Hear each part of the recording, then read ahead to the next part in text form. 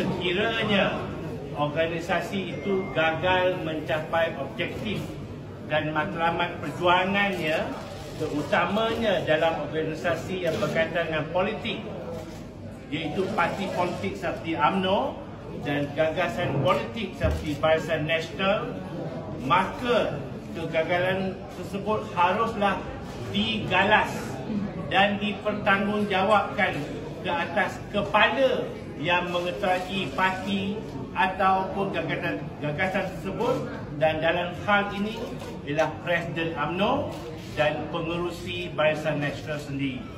Bukan kita tidak sayangkan Zahid, kita sayang, kita hormati dia. Tetapi somebody will have to pay the price. Dan dalam hal ini, Datuk Sri Zahid Hamidi haruslah mengambil tanggungjawab sepenuhnya di atas kegagalan BN